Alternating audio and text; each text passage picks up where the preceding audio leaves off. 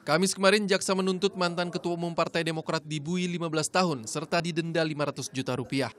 Jaksa menyebut bahwa korupsi politik terjadi di lingkup kegiatan politik dan dilakukan oleh aktor politik.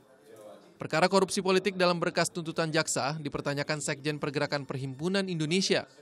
Menurutnya, jaksa semata menggunakan keterangan mantan bendahara Demokrat Nazarudin. Semua saksi dari PT Adikarya, dari Tubagus, tapi Kuraman sampai kasirnya, itu sudah menyatakan bahwa tidak ada keterkaitan dengan Anas Urbaningrum. Itu di persidangan.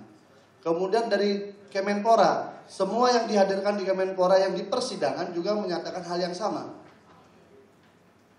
Hanya Nasarudin lah yang mengatakan bahwa eh, itu terkait dengan eh, Anas Urbaningrum.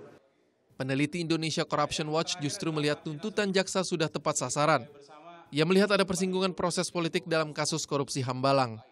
Bahwa ini sebetulnya bukan masalah politik, ini tetap masalah hukum. Cuma jaksa ada ikhtiar atau ada itik, ada ada upaya untuk membuktikan soal korupsi politik.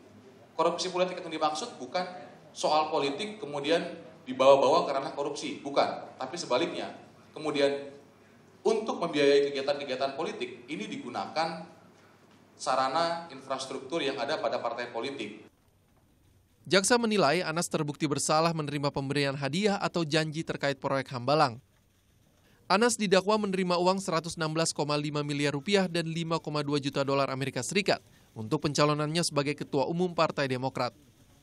Uang mengalir dari pengurusan proyek Hambalang di Kementerian Pemuda dan Olahraga, proyek di perguruan tinggi Dirjen Pendidikan Tinggi di Kemendiknas, dan proyek APBN lain yang didapat dari Permai Group. Anas juga disebut menerima Toyota Harrier dan Velfire, serta dana kegiatan survei pemenangan Kongres Demokrat di Bandung pada 2010. Sigit Wicaksono melaporkan untuk NET.